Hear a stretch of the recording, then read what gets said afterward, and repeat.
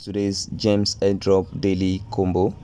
All right so our cards for today are under the mine tab. So the first card for today is um tech bro and tech bro is under the workers tab. So i will navigate to the workers tab and i will look for tech bro here. Okay so this is tech bro and this cost 83.3k so that is reasonable so i'll go for it. Okay that's our first card. The second card is also under this worker tab and that is um early adopter sibling so and this card here. So this is 15.9k so i'll click on this to get this as well. Okay? So our last card for today is um, mood renters which is under services. So i'll go to services tab here. And i'll look for mood renters. All right this is it here so i'll click on get it and i will get that. So that gives us our 5 million rewards for today. Okay?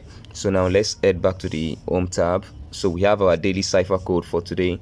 I'll post that in few hours from now. So just stay tuned. So when you head to the end, end tab as well make sure you claim your daily rewards. If you have not yet claimed that already and if you have attended to any of these make sure you claim your rewards for them as well.